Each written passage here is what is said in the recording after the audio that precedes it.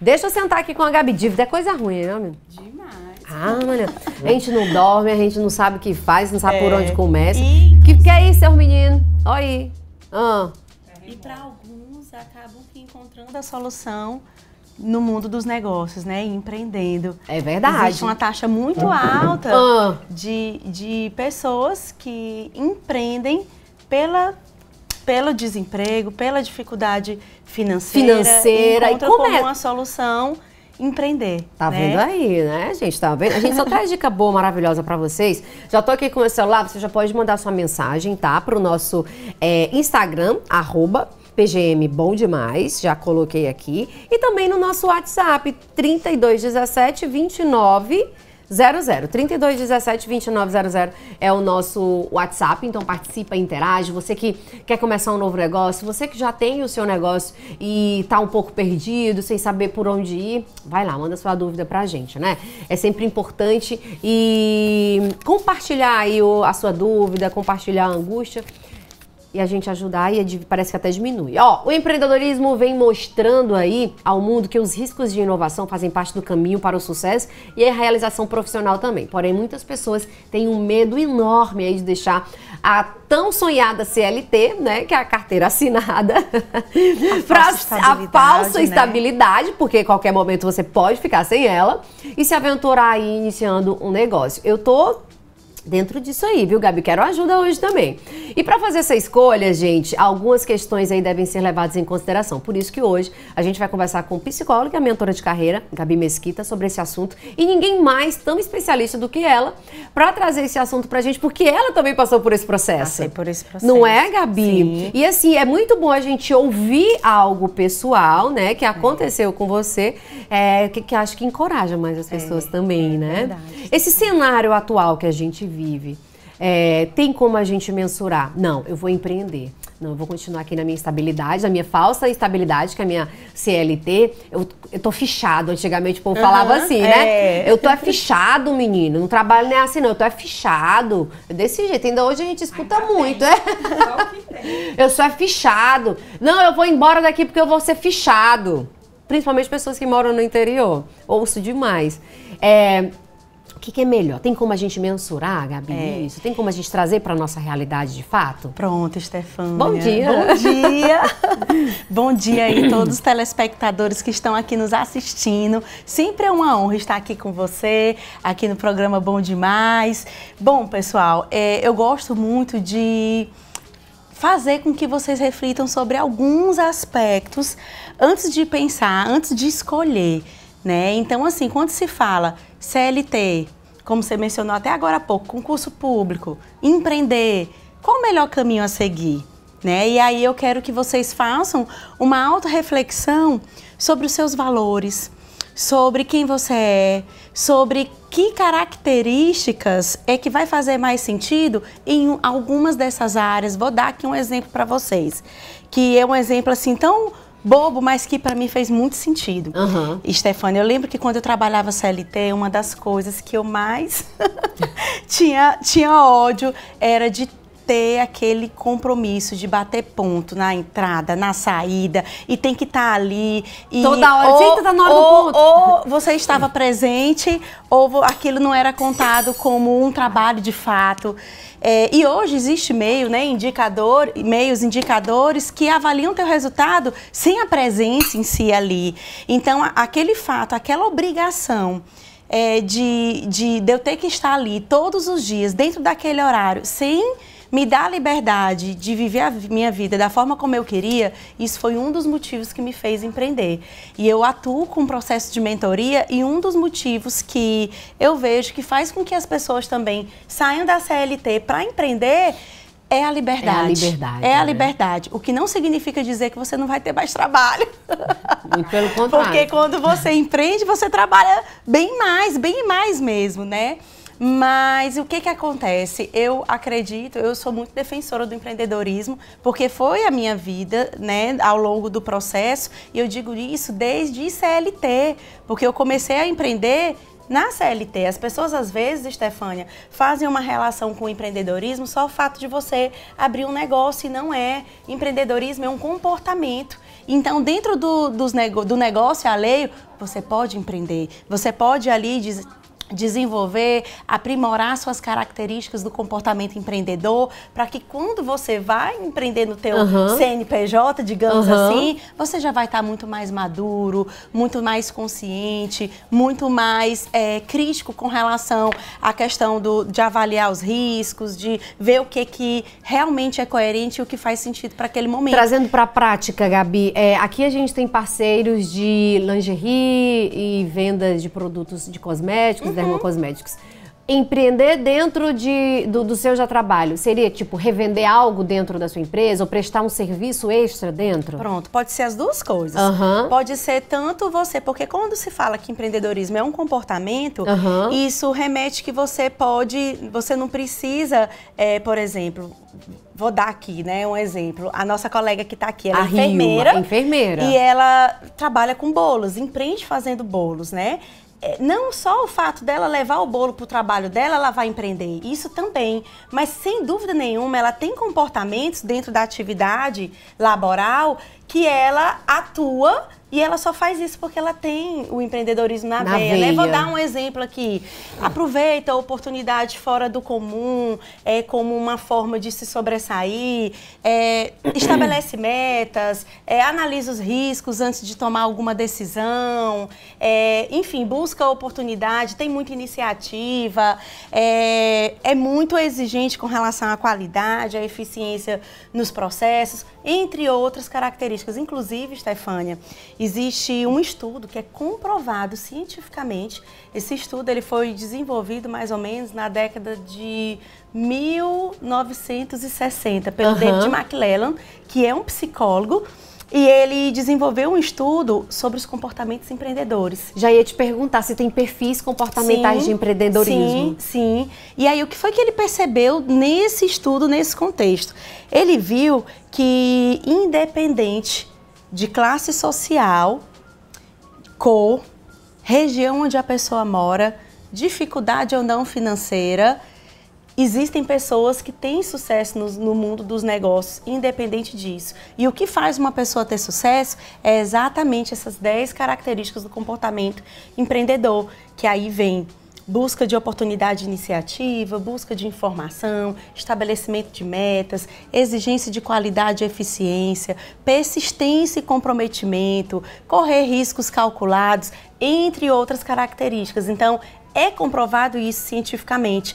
E por que, que eu trago isso, pessoal? Porque isso é um estudo científico. Então, uhum. existe todo um embasamento científico por trás disso que enfatiza que a pessoa, independente de questões financeiras, tem como empreender. Tem como empreender. Porque o que vai fazer com que ela se sobressaia nos negócios, no mundo corporativo, é o comportamento dela. Não é a situação financeira que ela tem. Não é à toa que tanta gente que tem dinheiro empreende e quebra. E quebra. Né? É. É, por quê? Porque não tem os comportamentos empreendedores. Então, isso é algo que é muito importante, porque quando se fala de comportamento empreendedor, isso pode ser desenvolvido. Né? Então, os comportamentos empreendedores. Você estudar ser, isso, Gabi? Pode ser desenvolvido. Uhum. Não só estudar, né? Mas existem é, alguns. Pro, pro, além de estudar, mas existem processos de mentoria, existe uma, uma e uma, eu não sei se pode falar aqui, porque é, é uma imersão fantástica nessa área também do, do, de empreendedorismo, que realmente desenvolve, aprimora as características do comportamento empreendedor. Então, assim, quanto mais o profissional ele se, ele se permite, ele coloca a cara a tapa mesmo a desenvolver essas características, é comprovado cientificamente que a tende consequência a disso tende o negócio dar certo. Correr riscos, né? É, Mais calculados. Né? Isso que eu ia saber. É. Os riscos sempre vão existir. Sempre vão existir. Né? Rilma vai deixar. No que já foi, eu tô cansada do. De, de, da enfermagem, porque eu fico muito tempo acordada. Vai lá. O risco que ela vai ter de sair de ter aquela renda fixa é. e investir somente nos bolos. Isso. Os riscos vão existir. É, vão existir. E aí vem, né, pessoal? fazer um plano de negócio ah. para saber se aquilo realmente é viável financeiramente. Ah. Quando você faz um plano de negócio, você tem discernimento ali do que realmente vai ser viabilizado para que quando você vai empreender, você vai empreender mais de uma forma mais segura, né? Não dá 100% de garantia, porque nada hoje é 100%, é 100% garantido. Não. Mas quando se faz um plano, você tem ali a convicção de várias coisas que talvez se você não fizesse o plano, você ia quebrar se fosse empreender. Né? E quando a gente fala de sucesso profissional, por exemplo, eu tenho amigas, eu tenho colegas que que pessoas que já participaram de processos de mentoria e que realmente foi decisivo para elas continuar na carreira CLT. Por ah, quê? Olha só. Porque gosta mais de estabilidade, né? Porque e aí eu venho segurança, a questão da falsa estabilidade, porque a qualquer hora você pode sair e se você também não tiver comportamentos compatíveis àquele negócio, você não fica, né? Inclusive até concurso público, gente. Se você faz um concurso, é aprovado, vai lá exercer o seu trabalho na área pública e você se depara com um contexto que está incompatível com teus valores, você adoece. Quantas e quantas pessoas é. não existem que são adoecidas, estão amarradas em concurso público ou carreira CLT, porque Verdade. não olha para si no sentido de deixa eu ver aqui o que, que é de grande valor para mim, quais são meus valores, o que que faz sentido para mim, o que que realmente é, eu vou ser feliz fazendo. E quando eu digo ser feliz fazendo, não é só o que você vai fazer, mas o que características suas que você possui que pode ser disponibilizadas a favor do que o mundo precisa. E isso pode ser CLT, concurso, ou empreendendo, né? Mas é importante fazer essa reflexão e saber quais são as tuas características que estão alinhadas a esses contextos. Tá? Porque e também... a gente vive numa sociedade doente. A maioria dessas doenças são causadas do, por, trabalho. do trabalho. São vindas do trabalho. É... O Brasil, Stefânia, é, se, não me, se, não me, se não me engano, é o quarto país onde, onde as pessoas estão mais adoecidas mentalmente. Mentalmente. E a maioria dessas doenças são doenças oriundas do trabalho. Né? E aí vem síndrome de Burnout, e aí vem ansiedade generalizada, e aí vem um depressão, monte de depressão. E vem uma seguida é, da outra, é, e às vezes todas juntas. É. Como sair da CLT e começar a empreender, Gabi? É uma pergunta super difícil, você deu aqui já várias dicas, mas aí quando chega, pronto, cansei, eu não quero mais. Uhum. Como que a gente faz? O que faz primeiro? Meu Deus, até fica assim. Per... Olha aí, a Marilma chega a tá assim, ó, assistindo a novela. É, assistindo, né? Porque eu tô falando, eu, tipo assim, hoje eu vivo mais do meu empreendedorismo. Eu não vivo mais da enfermagem. Uhum. Eu Olha sou funcionária aí. pública concursada, mas eu exerço minha profissão por amor à profissão, porque eu, vou com todo gosto, não é nenhum sacrifício para mim. Olha aí. Mas gente. hoje, se eu dissesse assim, eu vou sair da enfermagem, eu ia viver muito bem só com bolo, Como sem precisar da enfermagem, uhum. né? Eu acho que eu ainda ia me dedicar mais ainda ia dobrar, triplicar talvez meu faturamento. Eu não eu... tenho dúvidas. Quer dizer, eu falo assim que não tenho ah, dúvidas, porque, eu, porque eu... É, as pessoas que geralmente eu acompanho, é esse resultado que elas dão, né? O que, que acontece? As pessoas têm muito medo, têm muito receio, né? E aí é importante até avaliar até que medo, até que ponto é que esse medo ele está sendo teu sabotador de, de te impedir de você evoluir, de você crescer. O que, que acontece? Os nossos sabotadores eles surgem na infância para a gente se defender. Então, naquele momento ali de conflito, de briga com um amiguinho, até mesmo com o irmão, com o pai, vem ali a questão do medo para nos defender. Porém, o que, que acontece? Quando chega na fase adulta, Stefania, eles não entendem que a gente não precisa mais deles porque aquilo ali já foi instalado na nossa na mente, nossa mente né? né? A, neuro, é, a neuropsicologia explica isso, uhum. que e, e já está ali instalado. E aí o que, que acontece? É necessário a gente mostrar para o nosso cérebro outras ações, outras formas de atuar que no caso correndo riscos calculados, por exemplo, para enfrentar esse medo. Não significa dizer, porque o medo também é importante. O medo é importante. Né? Se você não tivesse o medo, como é que no mundo dos negócios você ia calcular os riscos sem medo? Você só faz isso porque você tem medo. Porém, ele tem que ser na dosagem correta, né? E aí quando você me pergunta, Gabi, e aí, quem é que está em CLT? Como é que faz para empreender? Pra Qual empreender. é o primeiro passo? Uhum. Né? Eu estou fazendo essa pergunta porque todos os dias a gente se depara aqui com novos empreendedores na nossa cozinha, na oportunidade que a gente traz também para os nossos telespectadores. Isso a gente já pôde comprovar. Uma amiga da Rilma Foi. assistindo o programa e vários outros depoimentos aqui eu já ouvi também e leio todos os dias. Vou começar a compartilhar Perdi nas minhas minha redes cliente, sociais. Viu, Stefânia? Ai. Perdi era Porque ela se minha tornou uma cliente. empreendedora. Agora ela tá fazendo bolo, eu incentivei, dei forma. Tudo, Olha que né, bacana, tá vendo? E isso é muito importante pra você aí de casa que quer também sair daquela zona de conforto e que tá infeliz, sabe, gente? Eu acho que a gente hoje vive num mundo de tanta infelicidade É. profissional, pessoal, é, matrimonial, que às vezes se a gente fizer o mínimo pra gente buscar algo que satisfaça em É. algum campo da nossa vida, faz muita, já faz muita diferença, né, Gabi? É. Se a gente for parar para pensar, é, é, Stefania, a nossa vida é sem sentido. Para para pensar É. no tanto de coisa que existe. Trabalha. Aí o que que acontece? Aí Acorda, vem, calma, trabalha. minha gente, calma, deixa eu dizer.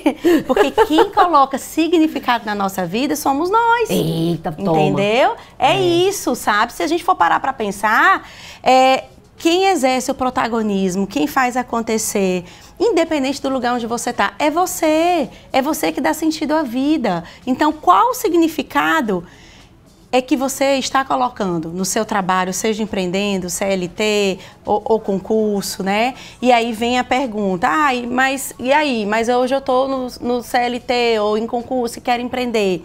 Qual o primeiro passo? Primeiro, fazer uma autoavaliação com relação às suas características, né? O que, que você precisa aprimorar, porque prova, empreender é, é- é- é viver em constantes desafios, né? Então Esperar por quem você não marcou. Exatamente. Então, é claro que você pode fazer um planejamento e prever Aham. muita coisa do que vai acontecer. E isso te ajuda, em, inclusive, é comprovado isso, Ah. Stefânia, que com o planejamento no mundo dos negócios, isso, isso potencializa 60% a mais daquilo ser atingido. Né? Então, agora o que, que acontece? Vem outro ponto, que aí vai ser pauta para um, uma- um outro encontro Ai, nosso meu aqui Deus, vamos lá. Não, já tá que marcado. é, que é a falta de planejamento. As pessoas não sabem planejar. O brasileiro é dono do fazejamento. Vai que dá fé. Não, é, vai que dá certo. Cara, eu vou empreender. Vou pegar bem aqui, pã, investe, faz isso, faz aquilo, faz emprego. Sem fazer um planejamento. E aí, quando eu falo de fazer um planejamento, não é só sobre o teu futuro negócio, mas é sobre você também. Né? Como é que tá a tua, a tua, o teu financeiro? Né? Se de repente o teu negócio nos primeiros meses, nos primeiros anos, não engrenar da forma como você queria, de que forma é que você vai conseguir se manter? Isso é planejar. Ah, hoje eu não tenho dinheiro ainda para fazer isso, pois eu vou começar trabalhar, vou deixar isso aqui como um fundo para mim me organizar financeiramente, para quando eu tiver um planejamento, um, um- financeiro mais estável, eu vou correr risco calculado. E aí eu vou empreender com mais segurança, porque eu tenho, né, da onde tirar até o momento em que meu negócio não engrenar da forma como eu quero. Então isso é uma das coisas. Estou falando aqui da questão financeira, que é importante você fazer um planejamento antes de empreender.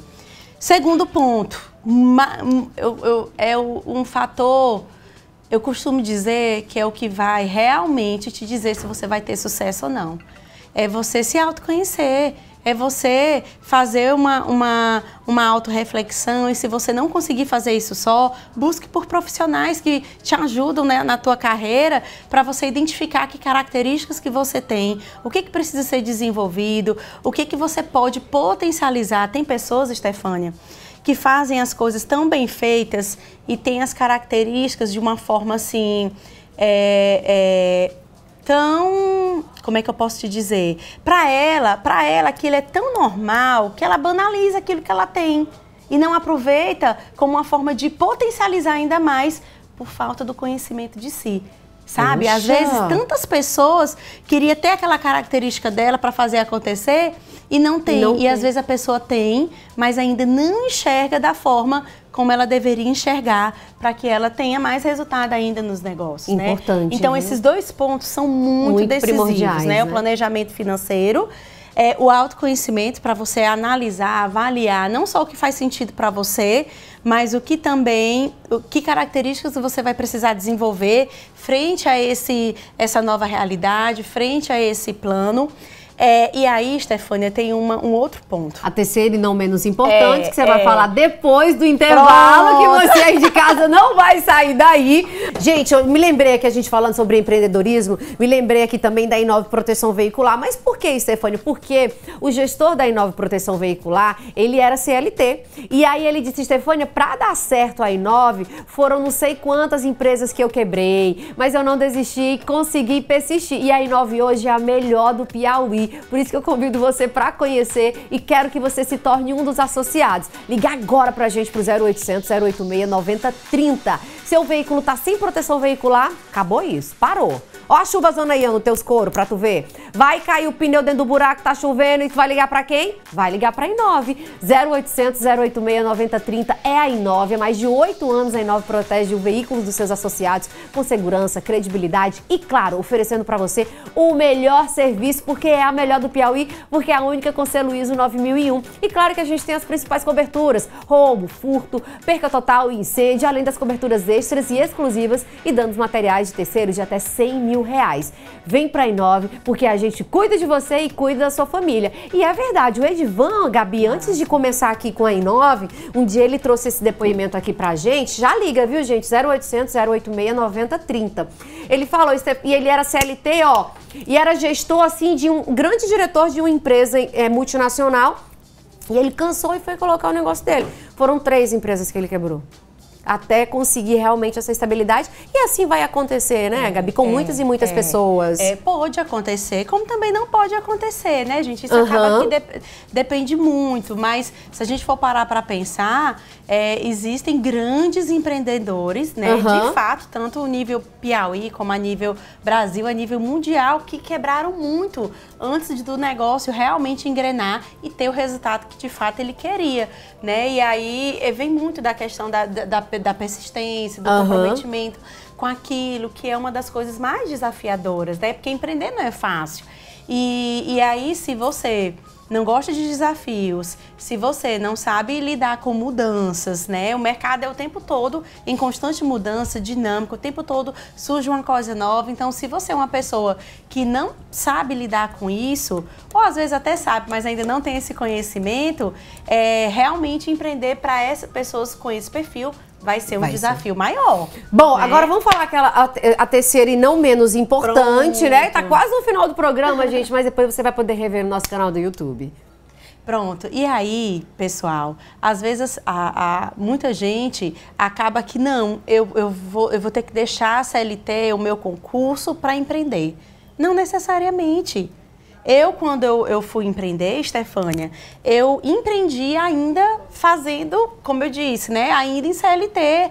Então eu trabalhava 44 horas semanais. Mas final, na época eu não tinha filho ainda, então isso possibilita, dava uma possibilidade maior, né? Mas ainda com filho. Eu vejo muitas pessoas fazendo isso, porque isso não é algo que vai acontecer para o resto da sua vida. Mas é um, um- um momento que é necessário você investir uma energia maior naquilo. Então, é, é, por exemplo, minha área, a área de gestão de pessoas, da psicologia organizacional, é, carreira. Então, mesmo eu trabalhando CLT, de 8 às 18 todo dia, eu achava tempo para fazer curso final de semana, cursinho à noite, é, fazia processo seletivo, Stefania, à noite, até que eu fui vendo e fazendo um cálculo. Cara, eu estou trabalhando tantas horas por dia, estou ganhando isso. Uma seleção que eu faço, eu ganho, Eu ganho isso. isso.